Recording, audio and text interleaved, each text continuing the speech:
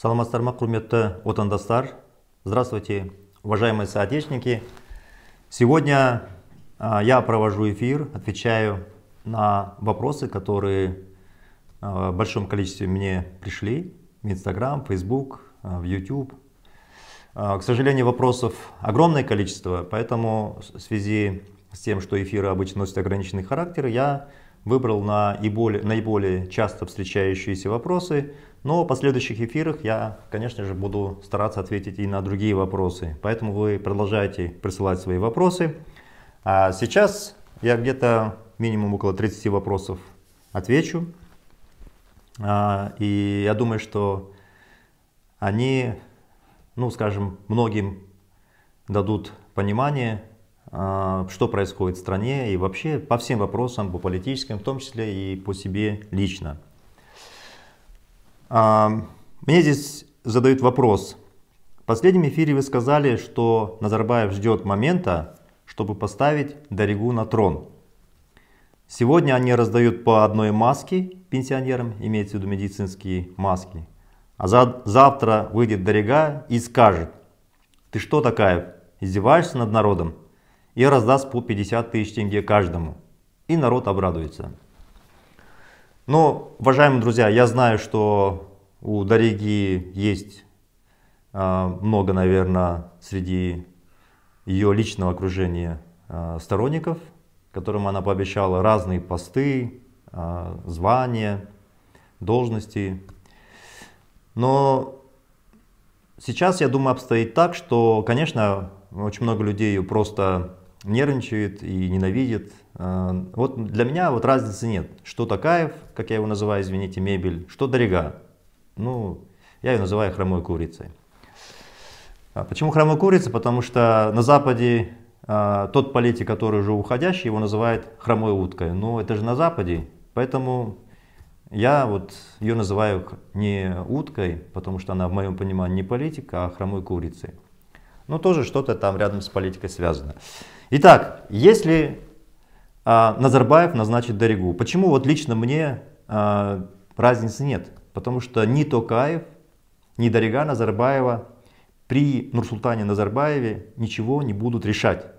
Вся власть также будет принадлежать Нурсултану Назарбаеву, все силовики, премьер-министры, депутаты, акимы, что называется, ни мышь мимо него не пролетит, хотя он прямо сейчас Э, не тратит свое время на управление государством, но принципиальные вопросы к нему приходят, как правило, Карим Масимов, он сейчас наиболее доверенное лицо, ну и был длительное время доверенным его лицом, кошельком Нурсултана Назарбаева, э, хранит через него Назарбаев десятки миллиардов долларов, через подставных людей Карима Масимова. Вот, собственно, приходит и согласовывает.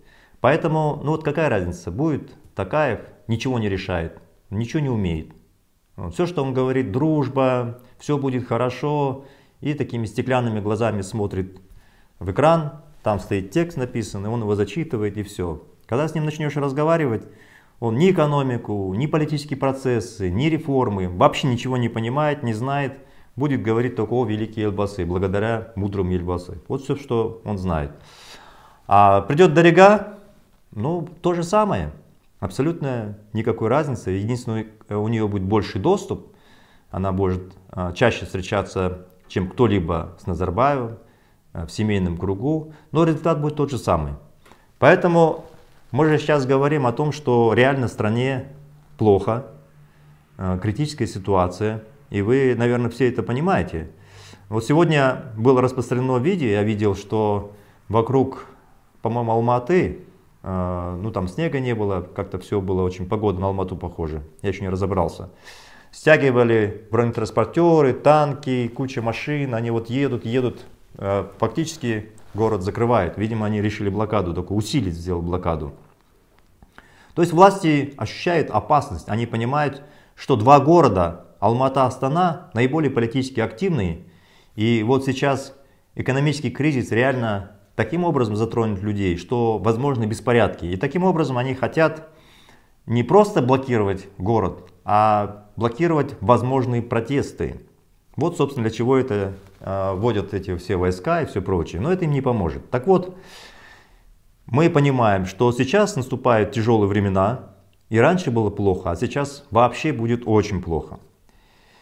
И ну хорошо, если Назарбаев вместо Такаева поставит Дорогу, если вследствие этого, чтобы показать, что она круче Такаева и может решать вопросы, я считаю, что нам надо поддержать Дорогу. Поддержать, пусть приходит, пусть э, каждый гражданин, включая младенцев, получит по 50 тысяч тенге. Пусть весь пакет, который мы озвучили со стороны демократических выборов Казахстана, она реализует и получит все звезды и благодарность от народа. Суть же не в этом, а суть в том, что людям станет как-то легче жить, пусть даже на этот короткий промежуток. Конечно, меня сейчас кто-то будет упрекать, наши сторонники, зачем вы им подсказываете. Дело вот в чем, уважаемые друзья. Назначение Дороги ничего не изменит. Крах системы неизбежен. Потому что в условиях, когда нужно принимать энергичные, быстрые решения, грамотные, ориентироваться на народ, слышать народ, быть с народом, эта политическая верхушка не сможет. Потому что она зажирела, обнаглела. И поменять Такаева на Дорогу или там еще какого-то племянника, Булата Назарбаева поставить, вот вообще никакой разницы нет. Принципиально ничего не изменится. Придет Дорога, где-то может быть месяца два-три э, накидает какие-то деньги, но ситуация будет каждый день усложняться и усложняться. Здесь нужны люди, которые понимают, что такое экономика, что такое политика, умеют создавать команды и самое главное, уметь принимать правильные решения. Поэтому не имеет никакого значения, э, назначит Нурсултан Назарбаев Дорогу или нет. Я считаю, что пусть назначит. Поприветствуем Дорогу, будем радоваться, хоть какая-то будет передышка при решении этих проблем экономических. Поэтому я думаю, что нам не надо сопротивляться. Более того, есть смысл сказать, хочу Дорогу, хочу, чтобы за ней пришел пакет реформ, пусть они э, решают вопросы бизнесу, закрывают проценты со стороны государства, списывают кредиты, списывают проценты и так далее. Ну и отлично, пусть придет, но все равно она не справится. Дальше. Следующий вопрос. Если Евразийский союз сделает единую валюту, это улучшит положение страны или нет? Уважаемые друзья, э, Евразийский союз, так называемый, более 90% доли в этом союзе, доминирующее положение, э, занимает именно Россия. 93% по-моему было последний раз, когда я смотрел цифры. Это Россия, Казахстан, Белоруссия, Кыргызстан, э, Армения. И поэтому, чтобы вы понимали, мы идем в фарватере политики России. Вот поэтому нужно, когда вы смотрите курс тенге, изменится, не изменится, вы смотрите российский рубль, умножаете его на 5,6 или на 5,8, и вы таким образом выйдете на реальный курс тенге, который будет. Следите за российской экономикой, потому что мы сейчас в таможенном союзе. И ну, в России все плохо. Санкции, Нефть Россия уже последние несколько недель не может продать ни в Европу, ни в Китай, потому что их саудиты лупят. Саудовская нефть сейчас просто э, проникает на европейский рынок, где в основном раньше Россия продавала большие объемы. Сейчас просто саудиты их, что называется, э, перехватывает рынок. И плюс санкции. Э, плюс, вы знаете, Россия ничем не отличается от Казахстана. Я знаю, у нас есть любители Путина. Он такой же диктатор, Э, такой же у него зажим народа идет. И нет обратной связи с народом. Такое полицейское государство. И поэтому, когда эта одна мафиозная группировка находится в одном государстве, пусть даже будет единая валюта, ничего не изменится. Будет так же плохо. Изменится только тогда, когда мы будем проводить независимый курс, когда мы построим такое государство, которое будет ориентировано на народ, когда народ будет контролировать власть, выбирать акимов, тогда да, тогда все изменится. А все остальное, как в известной басне от перемены мест слагаемых ничего не изменится.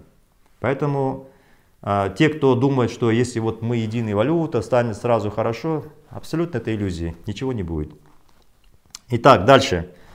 Следующий вопрос. Здесь э, вопросы разбросаны, я сразу хочу предупредить, э, предупредить они не, э, не уложены в какую-то систему. Как поступали вопросы, как они, так и я их печатал. Далее. Насколько серьезна угроза коронавируса? Я знаю, что очень многие наши граждане воспринимают достаточно легкомысленно ситуацию с коронавирусом. Так было в Италии, в Испании, во многих европейских странах. И ну, думали, это где-то далеко, там в Китае, едят они там летучих мышь, там еще кого-то, змей, это их болезнь. Вот так было. На самом деле все закончилось, даже не закончилось, развивается трагично. В Италии сейчас в среднем свыше 600, 600 человек умирает именно от коронавируса. В Испании э, идет массовое заражение.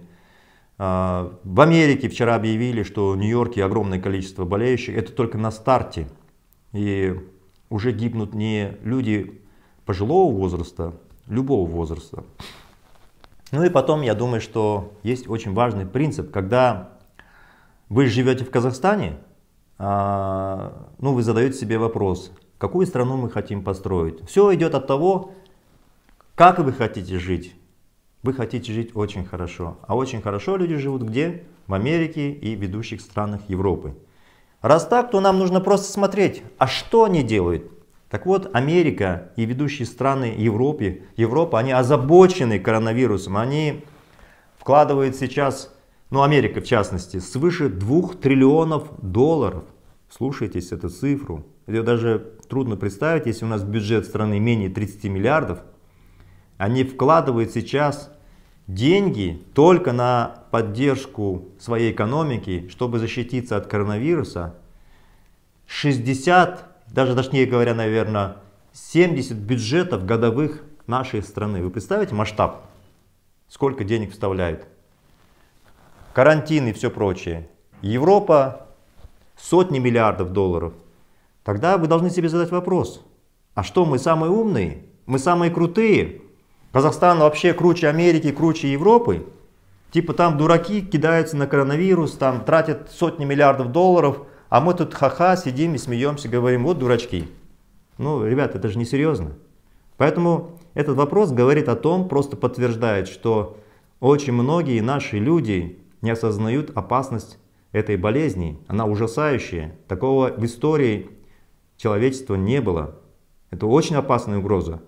И вот если мы будем поступать, как в свое время итальянцы, недооценивать эти угрозы, у нас будут последствия катастрофические.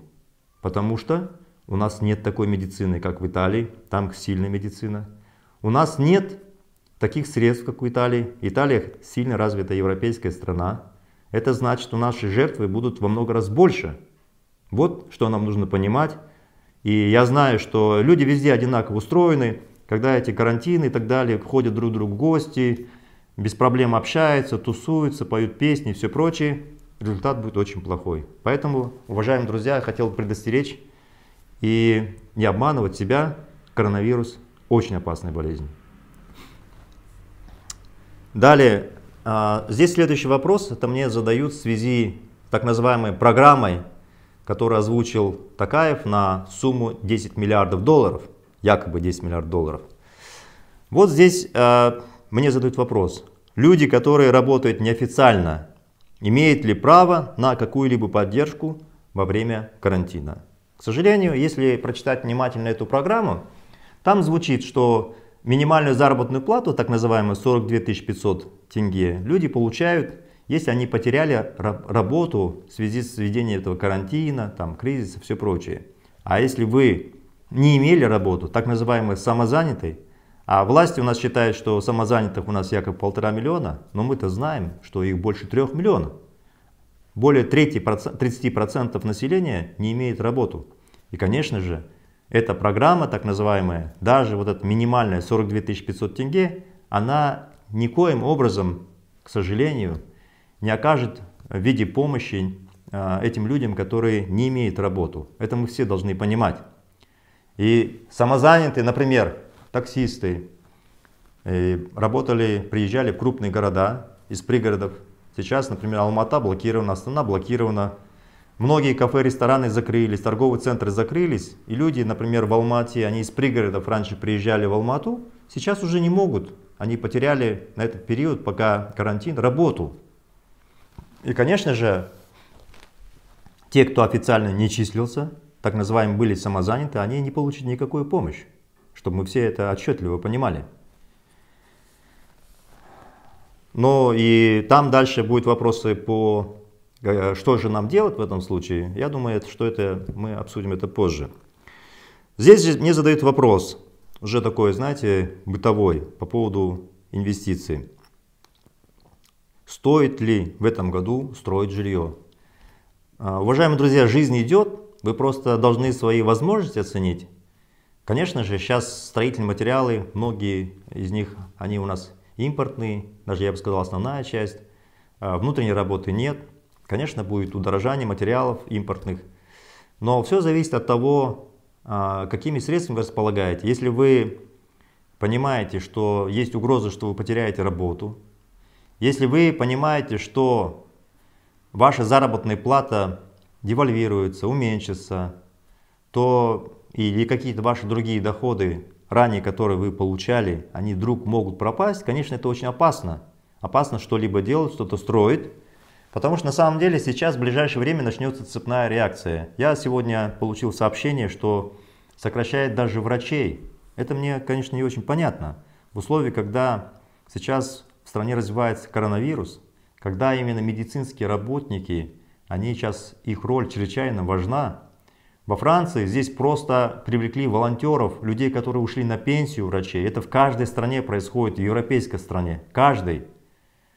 И в этих условиях сокращать или отправлять в отпуска без содержания врачей, я считаю, что это просто преступное решение. Вот сегодня я получил по поводу врачей такую информацию.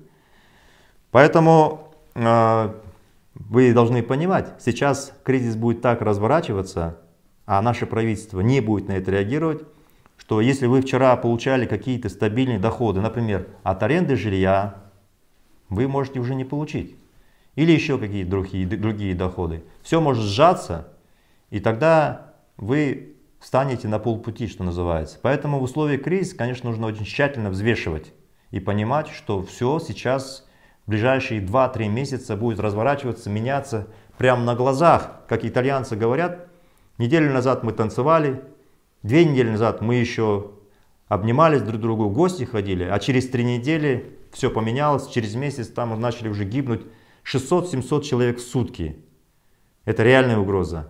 Поэтому вы, конечно, должны все эти угрозы взвесить и читать в интернете, что происходит в мире, это безусловно коснется и вас всех, всех абсолютно. На планете не будет ни одного человека, который бы не испытал эти проблемы. Вот сейчас даже вот известный, помните, советский был певец Лев Лещенко, он лежит, и у него здоровье, скажем, в очень опасной ситуации.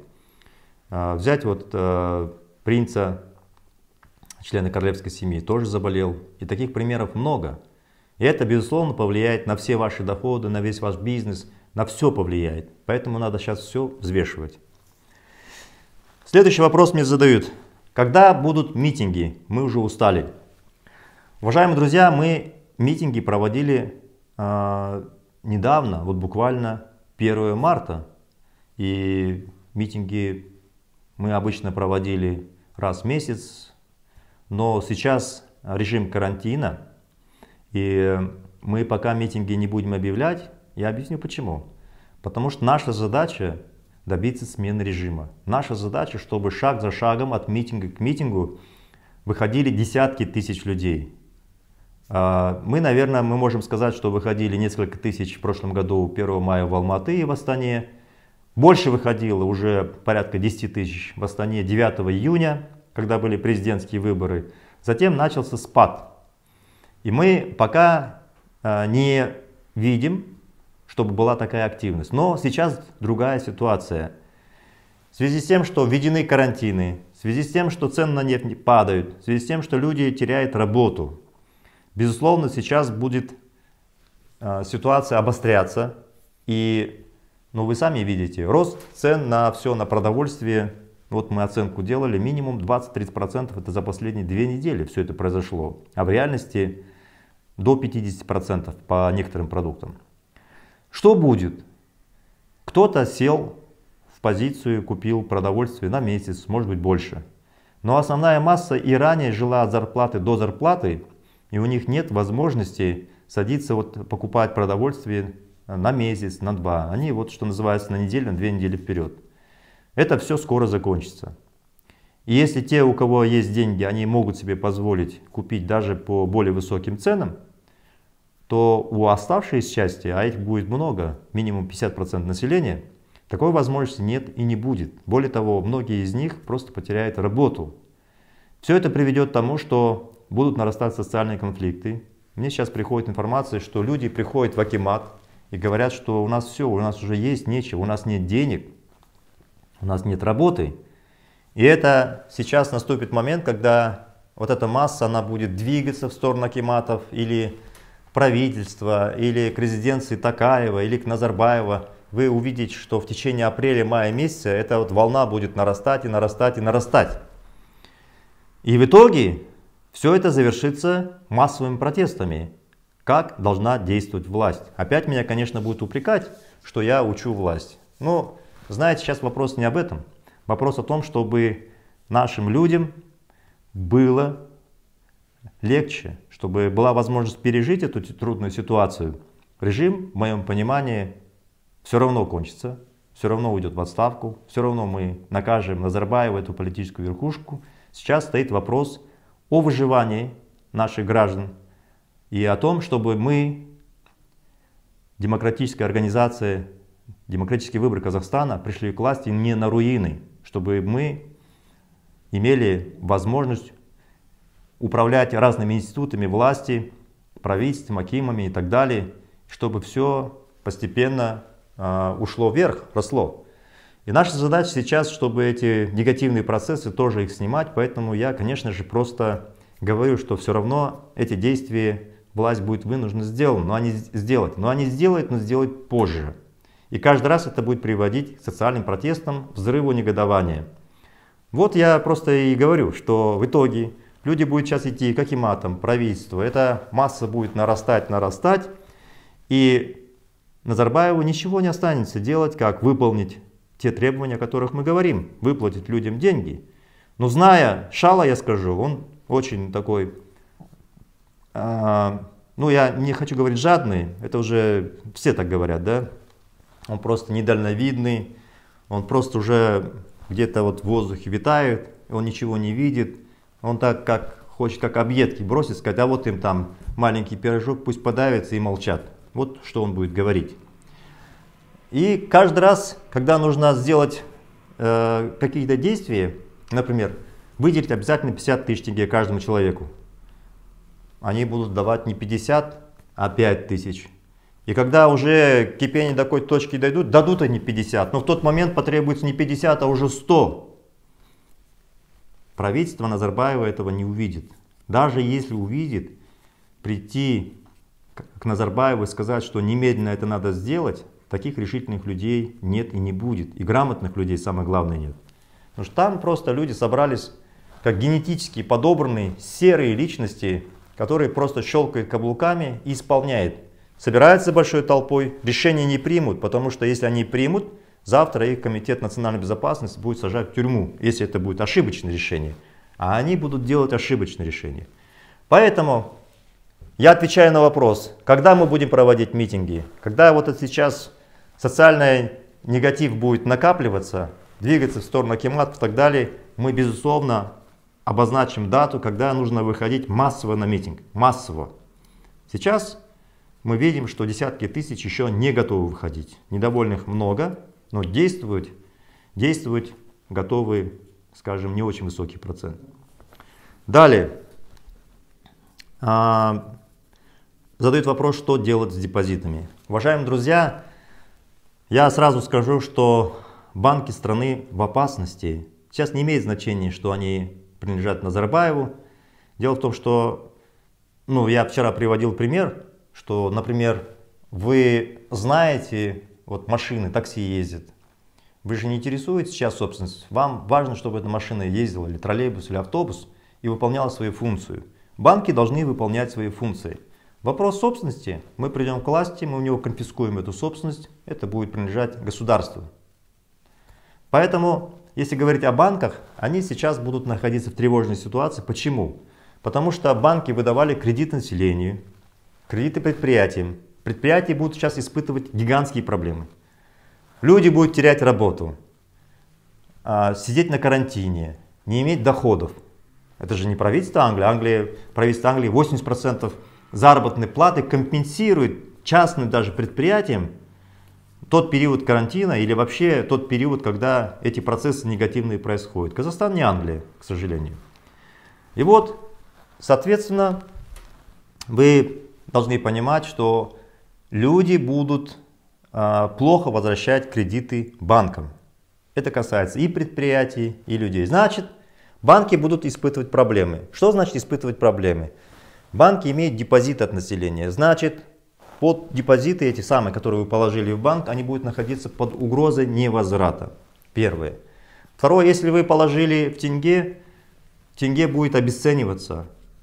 Ну, я вам точную дату не скажу, но во всяком случае апрель точно будет, потому что э, будут излишки нефти, цены на нефть будут падать, тенге будет дешеветь, рубль будет дешеветь. Соответственно, если вы держите тенге депозиты, считайте, что вы уже их обесценили. Еще месяц тенге подержите, они у вас превратятся ну, почти в ничто. Поэтому, если вы хотите держать деньги на депозите в банках, вы должны знать две вещи. Первое, их нельзя держать в тенге, желательно в долларах. Первое. Второе, если вы, а, тем не менее, это сделали, вы должны всегда внимательно наблюдать, слушать, собирать информацию, потому что банки будут испытывать серьезные трудности. И здесь опять Назарбаев будет вынужден вливать деньги в свои банки, если они у него останутся. Потому что в национальном фонде, когда говорится 90 миллиардов долларов, не верьте. Я потом отдельно, это другая тема, выступлю и скажу, что, к сожалению, там таких денег нет. Сколько, почему столько, я это отдельно выступлю. Поэтому депозиты не держите в тенге, держите в долларах, раз. Во-вторых, имейте в виду, что все абсолютно банки будут в ближайшие месяцы испытывать гигантские проблемы, начнется невозврат кредитов, банки будут попадать в ситуацию, что они не смогут вернуть депозит населению, юридическим лицам. То есть у нас будет очень сложная ситуация, это факт. Дальше. Здесь мне задают вопросы. Тысячи людей выйдут на улицы, дальше что? Бить морды полицейским, громить магазины, кричать «шалкет», что еще? А, вот последующие, предыдущие, скажем, как минимум два года, а реальности три, я уже выступаю, рассказываю, что мы должны сделать. Если на улице выйдет большое количество людей, а я здесь буду ссылаться на то, что произошло во многих странах мира. Как правило, как правило, именно когда много, когда тысячи в этот момент, как правило, в реальности всегда полиция переходит на сторону народа, и армия тоже. Потому что никакие танки, никакая полиция ничего не сможет сделать, когда на улицу будут выходить десятки тысяч. Да и не захотят. Потому что полиция, армия – это часть народа. Это ваши члены семьи, ваши друзья, ваши мужья. Это, в конце концов, ваши дети.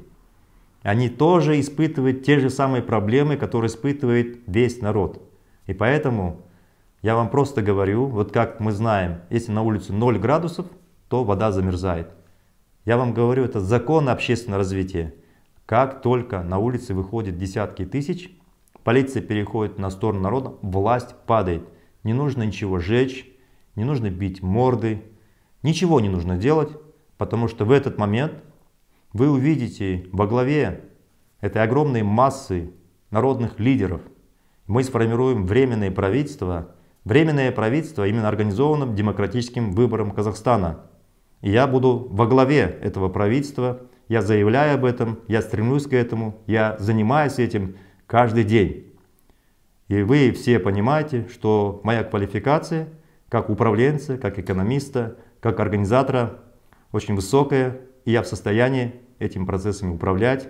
А затем мы проведем выборы, честные, открытые, и депутаты от народа придут в парламент и выберут народное правительство. Вот что мы будем делать. Никаких беспорядков, никаких войн. Мы все сделаем мирно, Вы понимаете, вот представьте себе, вот житейскую, житейский вариант. Допустим, на улице один бандит идет, машет кулаками, такой крутой. Но представьте, что перед ним стоит тысяч человек. Что может сделать этот такой крутой человек против тысяч человек? Ничего. Даже если у него в руке пистолет, эта масса на него навалится и порвет его на мелкие кусочки. Так и, собственно, и здесь. Что такое наша власть? Это по всей стране есть тех, те полицейские, их всего несколько десятков тысяч, которые в состоянии охранять эту власть. Но это ваши дети, ваши близкие. И когда они увидят, что людей десятки тысяч, и будет та самая ситуация, которую я вам привел, они просто поймут, что, что я делаю тут, и перейдут на сторону народа. Это я вам говорю практику. Поэтому вот что мы будем делать. Никому мы не, морды не будем бить, мы просто придем, займем все коридоры власти, назначим временное правительство и арестуем всю политическую верхушку, приближенную к Нусултану Назарбаеву. Мы не будем подряд всех арестовывать, это не нужно делать. Назарбаев и его близкие списки мы опубликуем, когда надо будет. Далее. Здесь мне задают вопрос, от чего зависит цена на нефть? Уважаемые друзья, я очень э, много времени трачу на то, что изучаю настроение людей, сижу в социальных сетях. Меня что радует? Меня радует, что наши люди говорят, мы построим парламентскую республику. Меня радует, что наши люди знают, что у Назарбаев состояние минимум 200 миллиардов долларов. Меня радует, что наши люди понимают, что именно Назарбаев со своим окружением ввел страну хаос и нищету. За эти последние 2-3 года произошло очень сильное самообразование. И меня радует, очень сильно радует, что наши люди уже понимают, как формируются цены на нефть. Я с таким удовольствием читаю, когда комментарии говорят, что сейчас идет нефтяная борьба между Саудовской Аравией и Россией, роль Америки, расписывает, как формируется цена на баррель нефти. Это просто здорово. Вы представляете, как поменялась ситуация, как наши люди стали грамотными. Я понятно, что эти комментарии вижу и понимаю, что многие из вас прекрасно знают, как формируется цена на нефть, но тем не менее я скажу по текущей ситуации. По текущей ситуации следующее. С 1 апреля Саудовская Аравия обещает производить не 9 миллионов баррелей в сутки, а 12,5, то есть на 50% больше. Ну и, собственно, и другие страны, арабские страны, тоже обещают поднять объемы. Но представьте себе, что сейчас происходит на рынке нефти. Только в начале года цена была почти 70 долларов за баррель, сейчас 25-26. То есть цена упала в 2,5 раза, почти в 3 раза даже. Что произошло? По законам рынка, когда товара слишком много, избыток, что происходит? Желающих купить мало, цена обычно на этот товар падает. Так вот с нефтью то же самое произошло. Сформировался убыток, Россия, Саудовская Аравия не договорились. Россия сказала, нет, мы не будем уменьшать объемы производства, чтобы товара было меньше и, соответственно, цена была выше.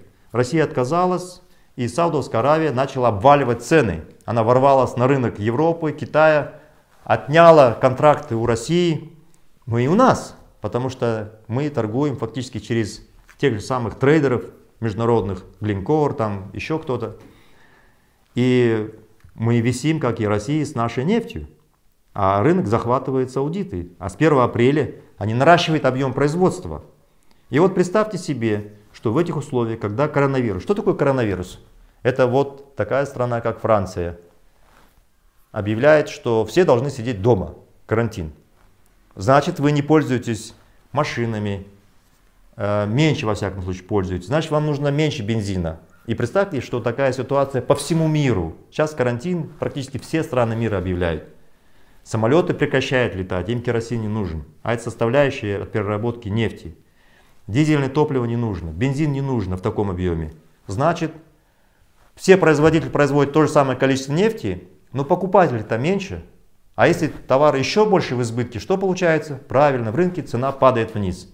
Поэтому, когда у меня спрашивают, от чего зависит цена на нефть, зависит от объема производства, а спроса, а спрос сейчас упал. И он будет дальше падать, потому что сейчас страны, которые закрываются, делают режим карантина, закрывают авиасообщение, все больше и больше с каждым днем становится. Значит, каждый день уменьшается спрос на нефть. И вот цены будут падать. Раз цены на нефть будут падать, мы будем получать, как Казахстан, меньше доходов от экспортной выручки за продажу нефти. Соответственно, наша валюта будет слабеть. Сейчас тенге будет слабеть, это однозначно. Как минимум до конца апреля я свой прогноз давал. Далее. Э, задают вопрос, подешевеет ли у нас горючечно-смазочные материалы, ГСМ, нефтепродукты. Э, я по этому поводу уже много раз выступал, говорил, что нефтепродукты, бензином у нас монопольно занимается Тимур Кулебаев. Ну там разные вывески, разные торговые сети, бензоколонки. В реальности все под контролем Назарбаева и его зятя. В Америке цена на бензин в полтора раза меньше, чем в Казахстане. Можете себе представить? А зарплата у американцев в 10 раз выше. В 10 раз выше, а бензин дешевле в полтора раза. Чем это связано? Связано с тем, что сидит Тимур Кулебаев, контролирует всю страну, нефтепродукты установил практически единый по всей стране и не падает вниз цена, потому что он монополист. А во всем мире цена на нефть падает, бензин падает. Закономерность очевидна. И газ в цене падает. И поэтому, когда вы задаете вопрос, будут ли падать цены на нефтепродукты, они будут. Когда завтра масса недовольных людей сначала будет осаждать акиматы, затем люди поймут, что их вопросы не решаются, и цены на бензин, например, не падают, хотя цены на нефть уже к этому моменту, пока вы начнете активно действовать, упадут в три раза минимум. Я думаю, где-то 20-25 в этом промежутке, ближайшие две недели сформируется цена на нефть. Ну тогда, после того, как народ будет возмущаться, что называется, закидывать камнями и Кулебаева, и Назарбаева, они все равно опустят цены Пусть не на 50%, ну на 20%. Но тогда люди скажут, так вот, ты же мог уронить вчера, ты отнал наши деньги, мы все это время платили, в два раза переплачивали. И пойдут опять мощные протесты в адрес Назарбаева и Кулебаева. Поэтому им будет хуже, чем больше они тратят время, затягивают, не решают вопросы со сбросом цены, тем завтра у них худшие последствия будут. Понимаете? И они меня слушают сейчас, но не хотят тратить, терять свои миллиарды долларов, не хотят. И не смогут. Смогут только тогда, когда люди выйдут массово на протесты. Массово. А, следующий вопрос. Что вы думаете о производстве, если возможность а, у Казахстана не зависит от никого? Такая возможность, безусловно, у нас есть. И здесь мы, опять же, что называется, какой смысл изобретать велосипед? Нам достаточно посмотреть ведущие европейские страны, Америка, у них практически все есть, они диверсифицированы. Тогда мы задаем вопрос, а почему у нас нет? Мы что, у нас три ноги, хвост, три головы, мозги другие, кровь какая-то у нас густая, зеленого цвета? Нет. И ответ простой, мы можем. А почему у нас сейчас этого нет? Потому что во главе страны мафиозная коррупционная верхушка во главе с Нусултаном Назарбаевым, который качает доходы от нефти, металлов и все прочее, ему на остальное плевать. Этим же надо заниматься. А как заниматься? Власть должна быть перераспределена в регионы, вы должны выбирать акимов, вы должны выбирать депутатов, вы должны сами распоряжаться теми деньгами, которые там у вас есть в области, и вы скажете, слушай, у нас здесь нужно такой-то завод построить.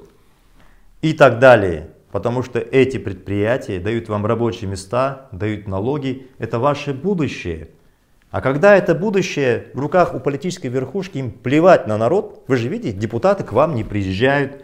Министров вы, наверное, не знаете никого. Даже премьер-министра, я уверен, что основная масса не назовет. Потому что они работают для себя, для Назарбаева. От, от остальным просто сбрасывают объедки, лишь бы не шумели не возмущались и дали им возможность дальше рулить страной. Поэтому, конечно же, при другой системе, при демократической, когда власть реально контролирует народ, тогда будет все как в Европе и как в Америке. Значит, когда вы говорите, Будет ли это так? Я говорю, да. Следующий вопрос. А что нам нужно сделать? Полная смена режима, построение демократической страны, ликвидация должности президента. Вот в этом случае народ будет контролировать власть, и тогда все эти предприятия у нас появятся. Потому что сейчас коррупция, все прочее просто не дает поднять людям головы. Нет капиталов, нищета и так далее. Вот так вот, все просто. А, следующий вопрос. А, сколько может продлиться карантин? Что будет, если он продлится один месяц и не, не будет никакой помощи от государства? Но карантин, а, вот во Франции в частности, продлят еще, вот сегодня я услышал, до конца апреля. То есть суммарно это будет больше, чем полтора месяца.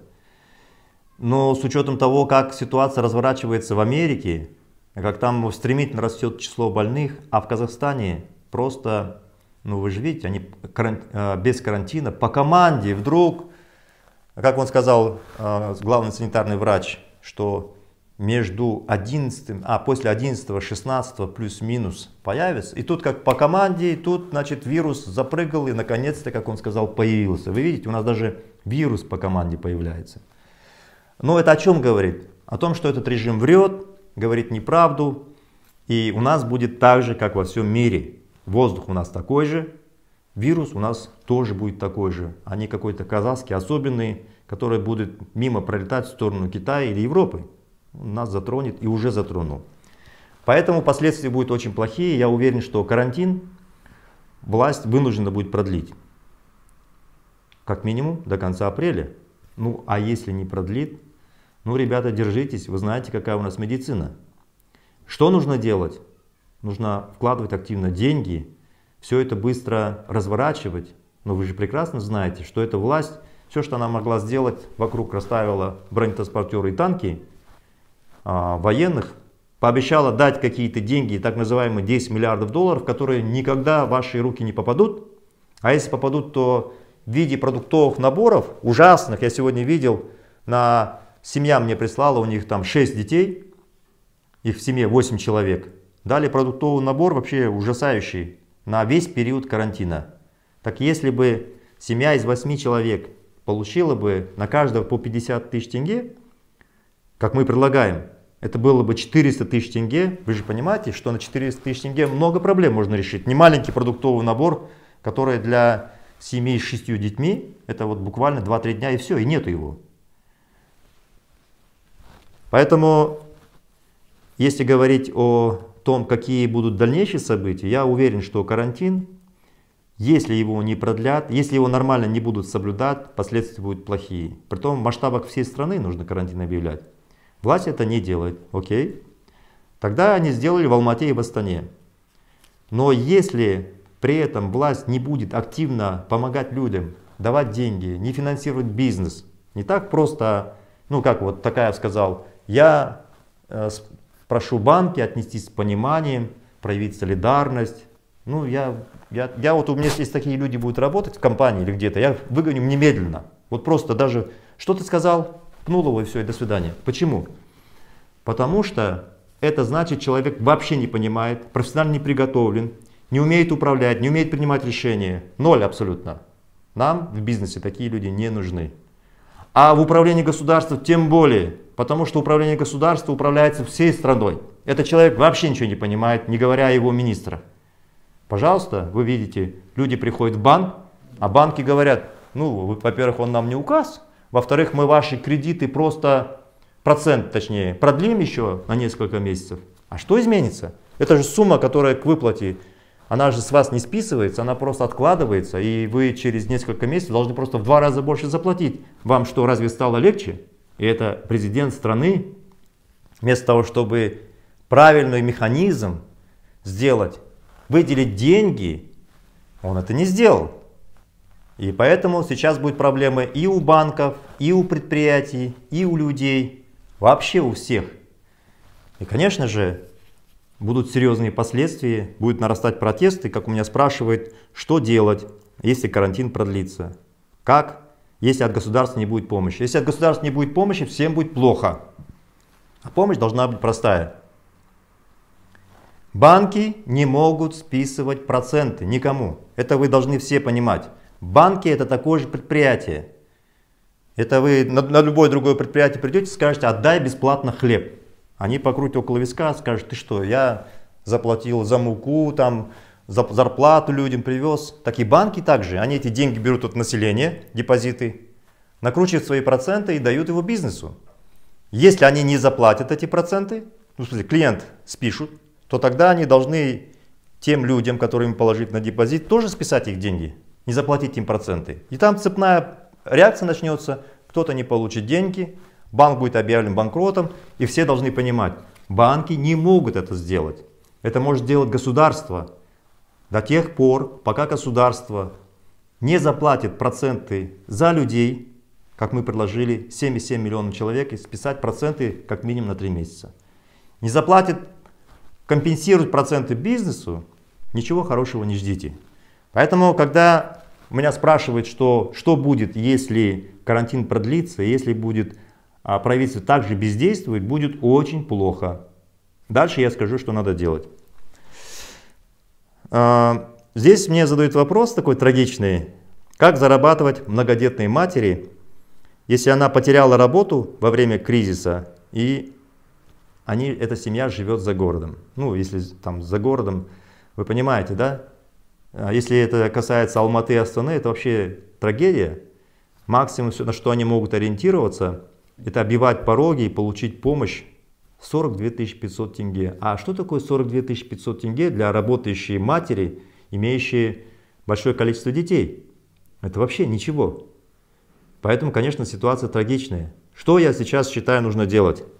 нужно оказывать давление на этот режим, на правительство, на акиматы, приходить акиматы, долбить их, делать письменное обращение, делать обращение в социальных сетях, делать видеообращение. Я когда-то работал в правительстве, я знаю, как это работает механизм. Заваливайте обращениями Такаева, Назарбаева, затем его аппарат отдаст правительство, а когда там мешками все это будет идти, сопровождаться вашим выступлением в социальных сетях, заявлениях и так, так далее, они испугаются, они все равно будут действовать.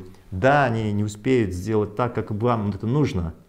Да, они дадут маленький процент, но тогда мы будем дальше требовать. Поэтому, если вы будете молчать, если вы не будете требовать от этого режима, извините, у вас ситуация не изменится, будет очень плохо. Вот я говорю по многодетным матерям. Дальше. А, спрашивает здесь такой специфический вопрос. Кто наследник 200 миллиардов долларов Назарбаева? Если вдруг завтра Назарбаев не станет, ну, покинет, что называется, этот мир, кто будет владеть эти, этими двумя стами миллиардов? Ну, здесь я хотел бы э, интересную там информацию, в принципе, я об этом писал, сообщить.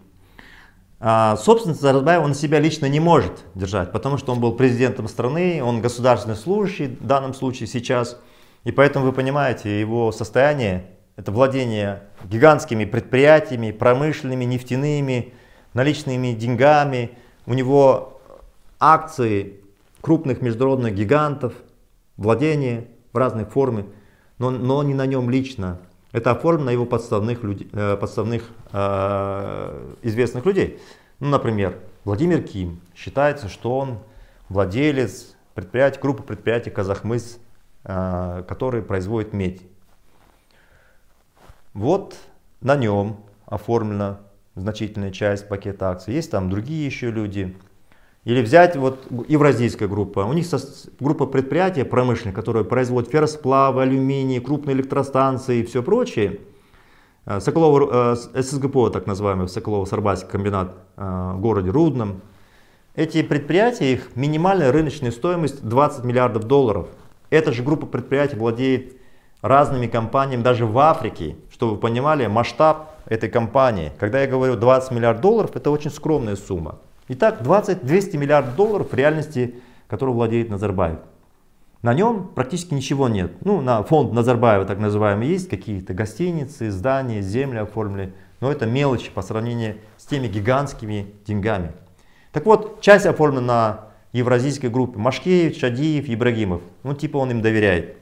Часть оформлена на Владимире, Киме, там еще других. часть на его бывшем э, управляющим делами у помощники Булата Утимуратова. У него состояние оценивается около 4 миллиардов, на Западе пишет 5 миллиардов долларов. И вот вдруг его не станет. И у него начнутся неуправляемые процессы. Когда тот же самый Тимур Кулебаев, который контролирует огромные активы, он скажет, не-не, ну Самбич уже нет, это все под моим контролем, Динара вон, а, которая живет его э, жена в Швейцарии, вот тебе какое-то количество денег, отдыхай, я тут все один хозяин. Булат Утимратов абсолютно то же самое. Машкевич, все они сразу разбегутся, ну может что-то отдадут, но эти 200 миллиардов, они просто раз в один день разбегутся по чужим карманам. И, конечно же, мне будут спрашивать, а, что дальше мы будем делать с этими 200 миллиардами, которые разбежались. Я позже расскажу, мы, безусловно, будем требовать, и у нас есть не просто э, требования, а механизм, как мы эти деньги или активы вернем в страну. Я в этом деле профессионал, очень хорошо знаю, как прячутся активы. Их невозможно в современном мире, невозможно спрятать. Когда кто-то скажет офшор, все прочее, это все ерунда. Банковская система в мире единая. Все денежные переводы легко контролируются. Имущество на таких деньгах легко контролируется. Поэтому мы их найдем. Далее.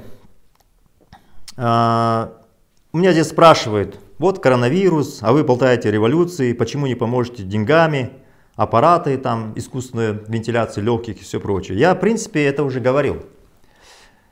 А, Назарбаев а, захватил мой бизнес, конфисковал, во-первых. И поэтому все эти легенды и сказки о неких миллиардах это сказки. Если бы они были бы, как я говорю, современный мир не позволяет спрятать никакие деньги. Это во-первых. Во-вторых, именно Назарбаев, именно эта политическая верхушка и та группа неких бизнесменов подставных, типа Машкевича, Шадиева и все прочее, у Тимуратова, это они получили активы государства, это не я. Я создавал свой бизнес всегда с нуля.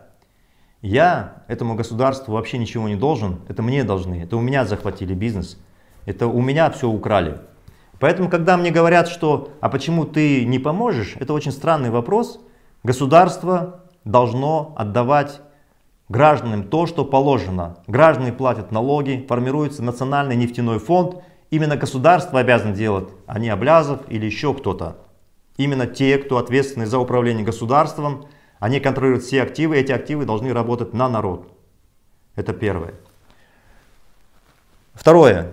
И еще вот тем людям, которые задают такие неумные вопросы, вы должны знать, что все мои активы конфисковываются, а все люди, которые какую-то помощь, один тенге от меня получат, их сразу обвиняют э, в преступлениях по отмыванию капитала, так называемых, они получают сразу срок тюремный. Таких примеров в нашей стране немало.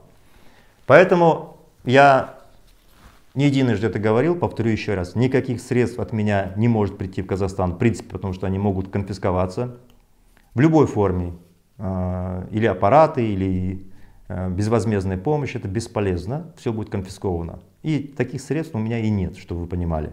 И не будет.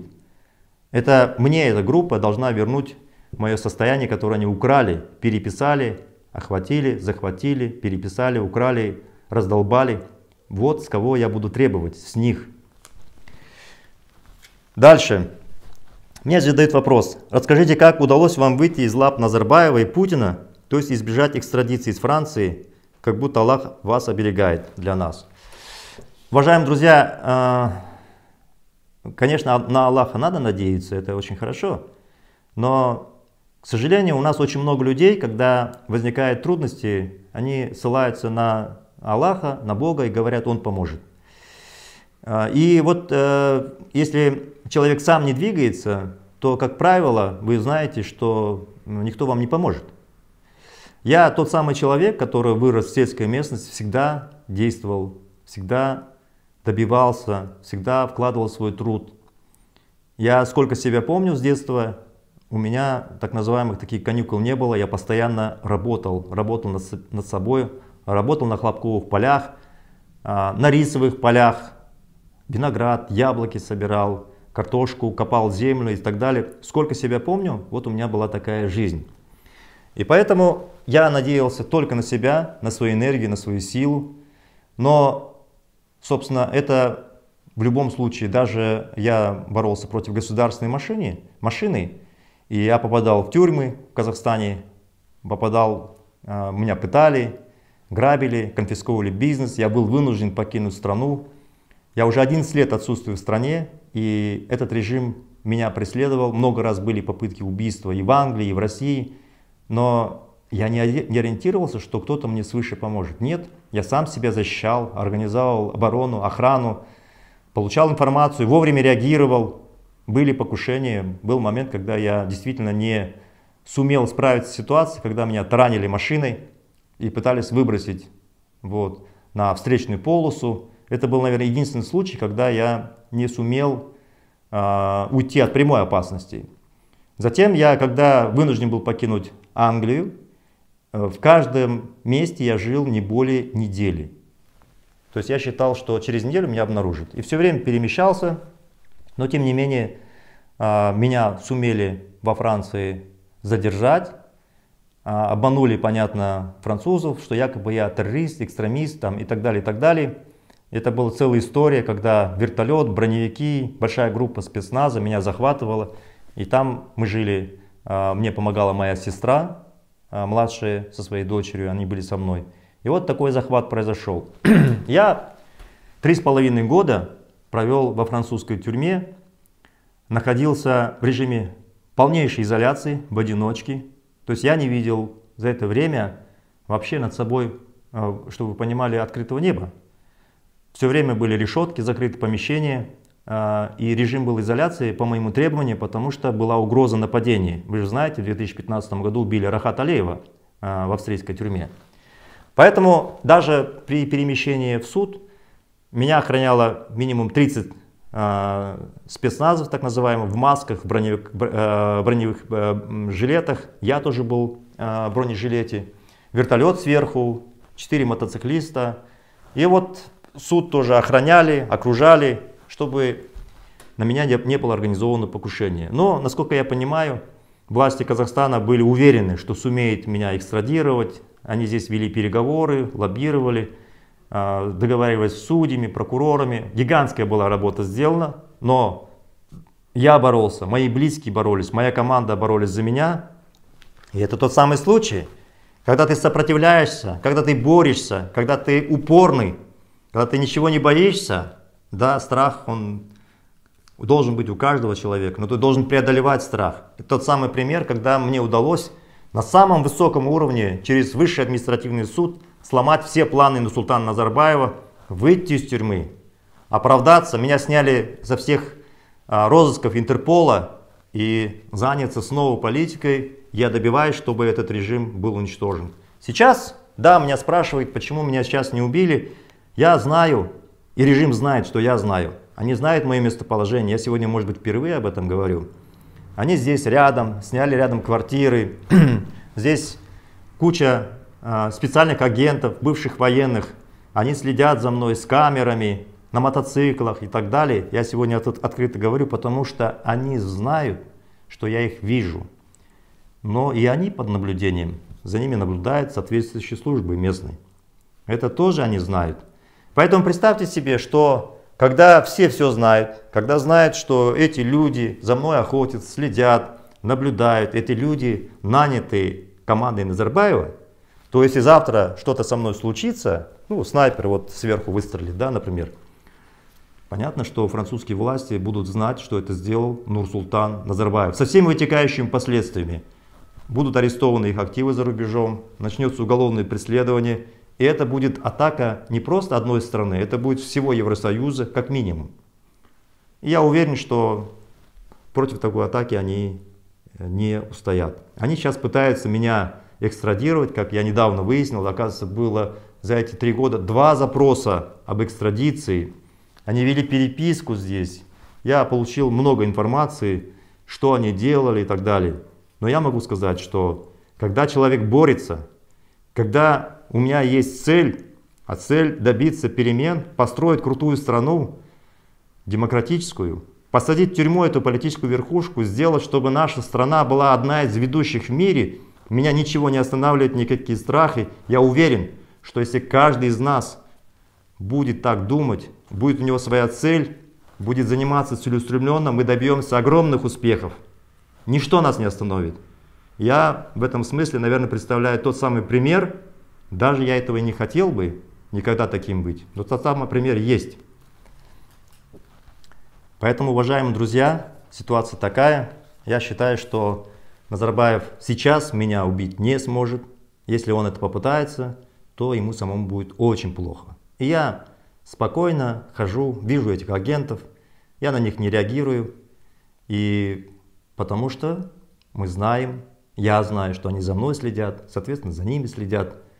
Так что вот такая ситуация. Не переживайте, все будет нормально. А, и я хочу сказать, что экстрадиция делалась и руками Путина. Здесь в суде была вся информация о том, как шли переговоры, как Путин давал указания. Это все было э, нами доказано и принесено судьям французским. То же самое было с Украиной, договаривались с Януковичем. Когда говорится, что якобы я нанес ущерб России и Украине, это ложь. Это они сфабриковали уголовные дела, там нет никакого ущерба ни для России, ни для Украины. Это суд Франции в этом разобрался. Здесь у меня спрашивают дальше, как вам сидится в карантине? Уважаемые друзья, в карантине мне сидится лучше, чем в тюрьме. Общий срок, который я посидел в тюрьмах, 5 лет. И, ну, представьте, 3,5 года просидеть в одиночке. Я тренированный, я занимаюсь спортом, да, сейчас на улицу э, ограниченный уже выход. Ну, я нахожу возможность в помещении. Раньше была маленькая такая камера, где я каждый день минимум 3 часа занимался разными упражнениями. Вот, поэтому для меня этот карантин не карантин. Я и так вижу замкнутый образ жизни. У меня цель одна – добиться смены режима. Я каждый день только этим занимаюсь. Поэтому считайте, что я нахожусь в закрытых стенах уже не то, что как вот было в тюрьме 3,5 года. Еще 3,5 года скоро будет, как я на свободе. Я веду такой же образ жизни. Поэтому для меня карантин это не тяжелая позиция. Следующий вопрос. А, ну, я уже здесь ответил, мне задают вопрос, почему вас до сих пор не убили. Вы не думаете, что наш жалкий шал, трусливый, между прочим, такой могущественный, что он может в любом месте всех достать. Тем более, когда человек сопротивляется, борется, предугадывает его действия, знает лично всю эту верхушку, Карима Масимова, там всех. Вообще вот в этой верхушке я всех ключевых людей, которые принимают решения, я их знаю, знаю их ход мыслей и понимаю, что они будут делать. И они тоже меня знают. Поэтому все, что я сейчас говорю, о том, что они все подвергнутся санкциям, преследованиям, они это тоже знают. И поэтому меня не убили, потому что я боролся, пытались. А, теперь дальше вопрос. После смены режима вы будете представлять интересы народа и лоббистов олигархов. Как можно контролировать народные деньги, нефтяные заводы, золотые рудники и так далее? Уважаемые друзья, мы построим другую политическую систему. Когда премьер-министр, министр назначается парламентом, когда депутаты точно избираются народом, когда народ контролирует власть, тогда это правительство при таком политическом строе не будет работать на так называемых олигархов. Что такое олигарх, вы должны понимать. Олигархи это те люди, которые, используя власть, посредством власти заработали деньги. Так вот, это у нас Назарбаев и его то самое близкое окружение в бизнесе, это те самые олигархи. Но я никогда не был олигархом, потому что я свои деньги заработал помимо власти, вопреки власти. Эта власть, наоборот, у меня отбирала все, что я зарабатывал своим трудом. Олигарх это Назарбаев, Кулибаев, Карим Масимов, это группа Машкевич и так далее, которые, используя властные рычаги, разбогатели. Мы построим другую страну. И у нас не будет олигархов, у нас будут богатые люди. Это здорово, что будут богатые люди. Чем больше богатых людей, тем богаче государство. Но эти люди заработают благодаря своему таланту, благодаря своему труду, а не потому, что власть им отдает контракт, распределяет какие-то месторождения. Нет, они заработать будут только благодаря своему таланту. Дальше. Э, у меня спрашивают, как мы будем контролировать народные деньги. Очень просто, потому что суды будут независимые, правительство не сможет давать приказы судам, парламент будет контролировать правительство, Акимы будут избираться народом, опять же будет народ контролировать. Поэтому при такой системе все богатства будут контролироваться народом. Не будет так, что сверху премьер позвонил, сказал, отдай месторождение. Не получится, потому что там депутаты, здесь народ, здесь судебная система, которая не работает по звонку. Судьи будут избираться народом, если какая-то проблема, вы подаете в суд на правительство, на чиновника, приносите факты, вы выиграли, а человек будет наказан.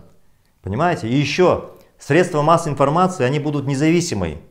Это значит, даже пусть богатые люди владеют разными газетами, телевидением, их будет много, они будут между собой конкурировать и за собой друг за другом следить.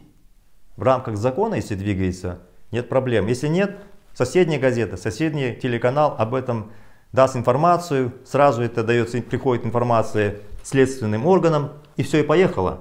Вот нужно, чтобы была конкуренция, борьба между разными группами, людьми, контроль народа, э, власти, и все. Понимаете, все изменится. Мы будем контролировать все богатства страны. Следующий вопрос. Смогут ли осужденные активисты занимать пост э, правительства после э, смены режима? Я хочу сказать так, когда мы придем к власти, все несправедливые приговоры мы все отменим, абсолютно все. Ну и потом вы должны знать, что значит осужден. Есть механизм погашения. Человек отсидел год и считается срок погашен, он уже не осужденный. Придут талантливые люди во власть. Это не я буду решать, это будет решать народ. Если это незаконно осужденный человек, вы его завтра изберете депутатом, и он снимет все обвинения, которые были ему сфабрикованы действующим режимом. Поэтому мы не должны ориентироваться, что осуждены режимы. Мы, мы все пересмотрим, если это несправедливо, все должно быть снято. И они могут занимать любые посты в нашей стране. Дальше.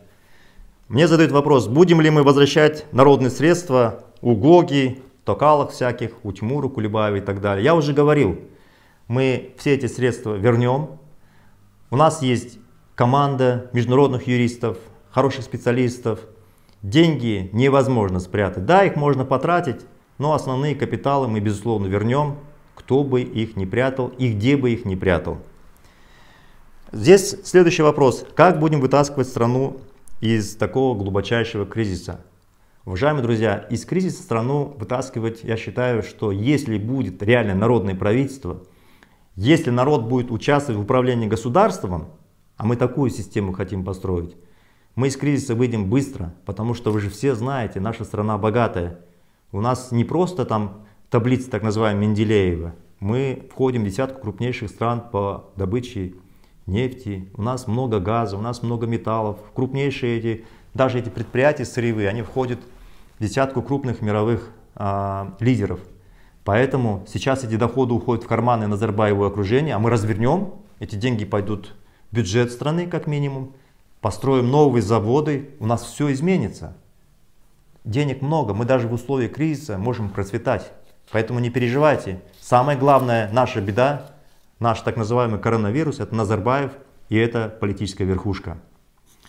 Дальше. Здесь мне задают вопрос, что делать сейчас людям, которые без работы без денег сидят?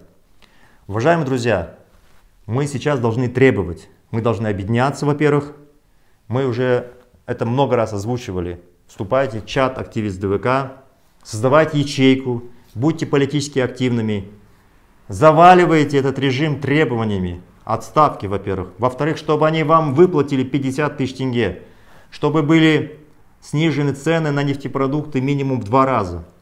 От вашей активности зависит Будут ли эти изменения завтра, сегодня, или они будут позже, когда вам совсем, совсем станет плохо, когда вы будете иметь, вообще не будете иметь никаких средств. Все зависит от вашей активности. Чуда не будет, если мы не будем двигаться.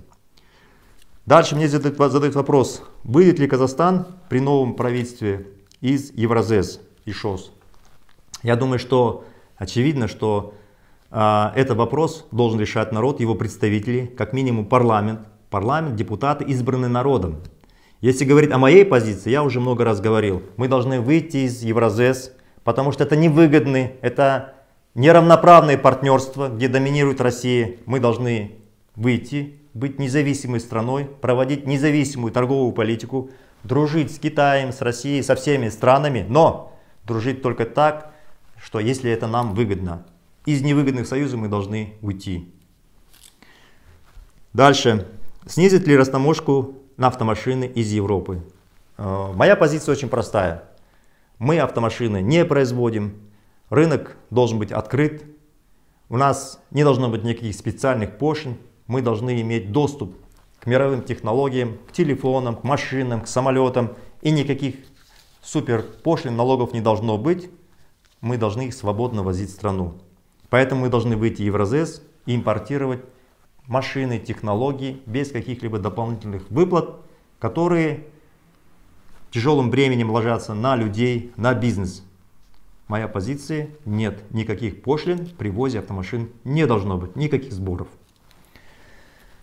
А, ну, здесь повторяется вопрос падения цен на нефть и как это повлияет, я уже на него отвечал, говорил, что если, а это так произойдет, к сожалению, в ближайший месяц-два цены будут еще больше падать, то нам будет плохо, бюджет будет испытывать серьезные трудности, это сразу тотальные проблемы будут по всей стране.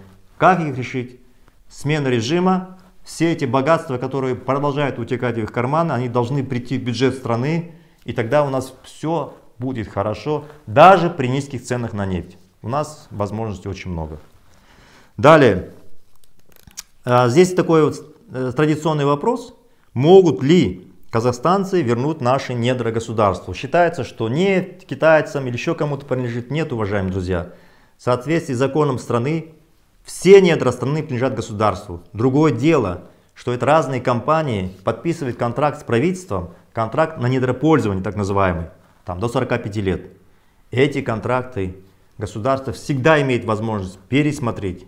Поэтому, когда мы придем во власть, будем строить демократическую страну, мы безусловно эти контракты пересмотрим, контракты на недропользование, и принудим, кто бы там ни был, китайцы или кто-то еще, заплатить реальную рыночную стоимость за пользование природными ресурсами. Нам эта собственность не нужна. Мы будем контролировать ресурсы, государство будет получать доходы больше, чем сейчас есть. И этих денег для развития государства достаточно, так устроен весь мир. Дальше. А, спрашивают, меры приняты для укрепления тенге, принятые правительством. На какое время хватит их и что будет с долларом? Государство никаких серьезных мер не предприняло, только ограничительные, хватательные, запретительные меры. Вот сейчас я знаю, что юридические лица просто так валюту не могут купить. Они должны договора обосновывать, это замедляет хозяйственную деятельность, это мое право. Я сегодня имею тенге, завтра поменял доллар, послезавтра евро. У бизнеса должно быть непременное право в любой день поменять. И поэтому такие методы запретительные в рыночном государстве ни к чему и хорошему не приведут. Будет черный рынок, сбоку будет продавать. А если такой возможности не будет, значит будет ограничен импорт. Потому что мы многие а, статьи продовольствия, товаров покупаем за рубежом, если у бизнеса не будет возможности свободно оперировать валютой, значит будут сбои в поставках товаров. Завтра это будет дефицит, это значит существующий какой-то объем товаров поднимется в цене, а это инфляция. Поэтому все, что делает государство, никакой пользы нет. Более того, наш национальный банк единственный в мире с 9.25% поднял учетную ставку до 12 годовых. Все государства в мире роняли ставку учетную, делали меньше. России было 6 годовых, они не поднимали, они сохранили на прежнем уровне. И я считаю, что наш национальный банк сделал колоссальную ошибку. Поднял ставку до 12 годовых. Теперь процентные ставки станут для бизнеса дороже. То есть они как бы хотели, говорят, хотим помочь бизнесу, на самом деле навредили прямо. Навредили всем. Поэтому ничего хорошего не будет в тенге при таком подходе. Это повлияет глобально на все негативно.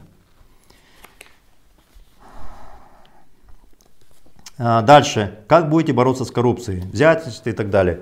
Это очень легко. Как только будет свободная страна, когда пресса будет охотиться за всеми, а, кто там неправильно что-то делает. Сейчас же раз позвонили, пресса, она под контролем, все закрыла. Суды позвонил, того посадил, кто тебе не нравится политически, а этого не тронь. этот посидит для видимости и вышел. Вы же все знаете, как у нас работает судебная система. Когда у нас все это будет работать, судебная система независимая, когда следователь не будет работать по приказу, по телефону, а будет действовать по закону, тогда все изменится. Тогда жизнь любого, который живет не по своим доходам, попадет на каналы телевидения, прессы, разговоры соседей, соответственно, соответствующие органы будут реагировать, и этим людям конец. И именно такой, такая модель развития государства в Европе и в Америке привела к тому, что если коррупция есть, она вообще минимальная, ничтожная. На 20 долларов ты там поезди бесплатно, тебя сразу в отставку. Вот как построено в мире. И мы такое государство можем построить. Вот так будем бороться с коррупцией. Мне задают вопрос, когда вы приедете а, в Казахстан? Я по этому поводу говорил.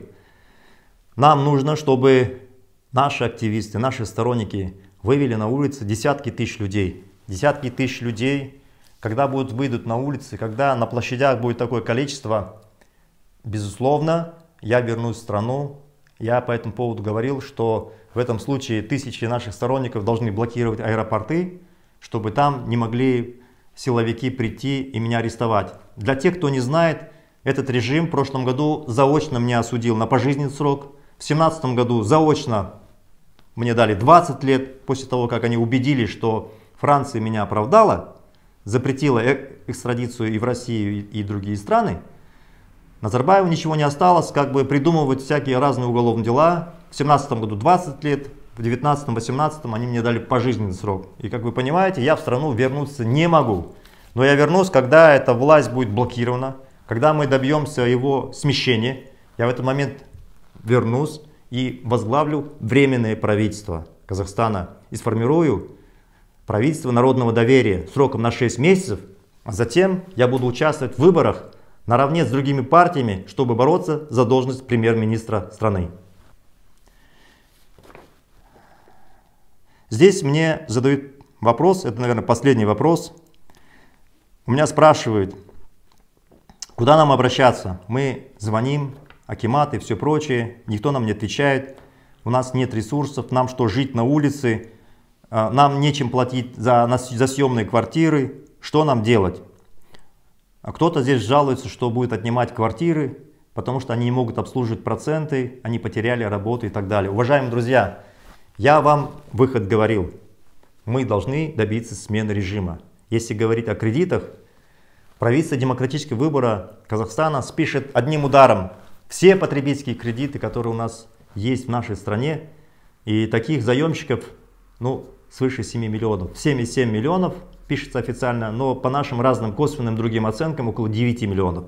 Плюс люди, которые имеют ипотечные кредиты на жилье стоимостью до 30 миллионов тенге, мы спишем такие займы. Поэтому ваше будущее в ваших руках. А сейчас, как сейчас бороться? Сейчас идите в Акимат, идите к местной власти, пишите правительству, пишите Такаеву, выходите публичные выступления, и вы увидите, эта вся масса каждый день будет накапливаться, двигаться, двигаться, объединяться. И, конечно, когда вот такие вспышки будут наращиваться, увеличиваться, мы объявим, безусловно, дату проведения масштабного митинга под эгидой демократического выбора Казахстана. И никакие карантины не смогут остановить сотни тысяч людей, которые будут фактически не иметь работу, будут голодать, будут терять жилье. Никакие войска не остановят этих возмущенных людей. И это время будет очень скоро, потому что действующее правительство не работает. Не работает так, как нужно, как требует время. Она и не будет работать. Мы все это должны осознать. На сегодня я ответил где-то приблизительно на 30 вопросов. Будут следующие эфиры. Я благодарю всех за то, что вы меня сегодня слушали. Буду собирать еще новые вопросы. Алга Казахстан.